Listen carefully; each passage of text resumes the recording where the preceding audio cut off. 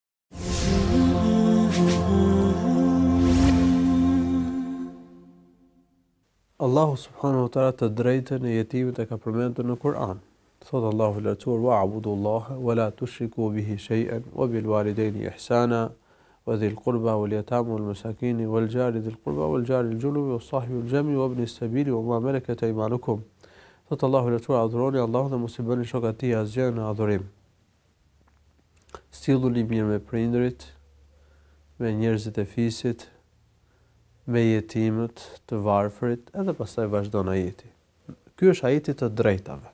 Janë përmendur 10 të drejta në këtë ajet Kur'anit. E drejta e Zotit, që është tauhidi me adhuru vetëm pa i bërë shok, e drejta e prindit, e drejta e fisit, përmendet pastaj e drejta e jetimit. Edhe jetimët kanë të drejtën e tyre, është përmendur në Kur'an dhe nuk lejohet që të shpërdorohet e drejta e tij. Madje, Allahu subhanahu wa ta'ala ka përmendur në Kur'an se Allahu ka marrë besën dhe popujve të hershëm nëpërmjet librave dhe pejgamberëve që të respektojnë të drejtën e jetimit, të kujdesen për jetimin, ta vlerësojnë të drejtën e jetimit, Wa idh akhadha Allahu mithaqa bani Israila la ta'buduna illa Allah wa bil walidayni ihsana.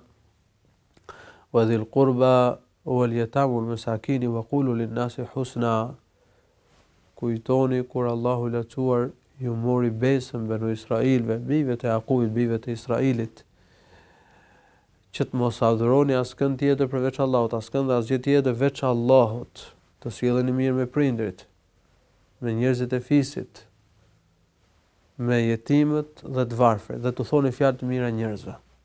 Pra, këtu përmendet e drejta e jetimit. Allahu i Lartësuar u ka marrë besën Benu Israilve përmes pejgamberëve që të respektojnë ndër të tjera të drejtën e jetimit, mos e shpërdorojnë të drejtën e jetimit. Allahu subhanahu wa taala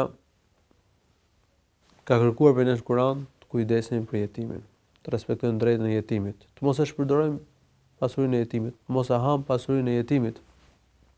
Kërkon prej nesh në Kur'an Allahu subhanahu wa taala që t'i afrohemi pasurisë së jetimit me të drejtë, me të mirë, në mënyrë të dobishme për të dhe jo për t'i zhvatur pasurinë, për t'i ngrënë pasurinë e kështu me radhë. Wala taqrabu mal al-yatim illa billati hi ahsanu hatta yablugha ashudda. Pasuria e jetimit duhet mirëmbahet, të mirëmenaxhohet, të bëhet ajo që është më e dobishmja dhe më e mira për jetimin, derisa ai të arrijë moshën e pjekurisë, kur mund arrin të mbahet dhe arrin ta mirëmenaxhojë vetë pasurinë.